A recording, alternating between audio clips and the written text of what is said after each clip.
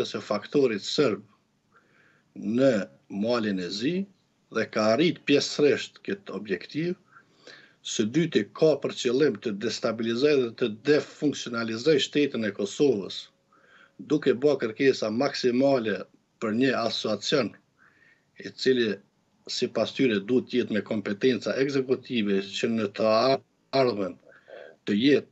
barrë për shtetësinë e Kosovës dhe të kontestojë shtetin dhe filozofinë unitare të shtetit të Kosovës dhe krejt qëllimin final dhe përfundimtar ka që Konfederatën e Bosnës dhe marrëveshjen e Dejtonit ta braktisë duke e shpallur Republikën Srpska si shtet të pavarur, e cila derivon nga një gjenocid i paparë që nga Lufta e Dytë Botërore. Mendoj që aleatët dhe boshti anglo-amerikan ka reagu me kohë dhe i ka tërheq vërejtjen edhe presidentit të Serbisë si sponsor i drejtpërdrejtë i presidentit Dodik dhe presidentit të Republikës Srpska që mos ndërmarrin veprim të tillë në të kundërtën Shtetet e Bashkuara të Amerikës do të reagojnë ashpër. Ka reagu me kohë kur, sepse ne në fakt kemi parë një qasje të butë deri mbas Banjskës. Duket se ajo ka qenë kthesa e madhe, ndoshta edhe ndërgjegjësimi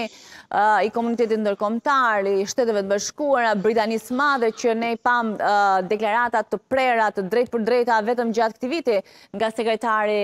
britanik ka ndryshuar edhe qasjen, ndoshta vetëm pas asaj çfarë ndodhi në Banjskë edhe komuniteti ndërkombëtar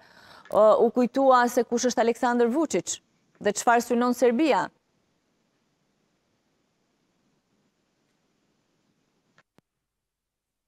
Shtetin ndërkombëtar, veçanërisht Shtetet e Bashkuara të Amerikës dhe ambasadori Kris Hill, i cili është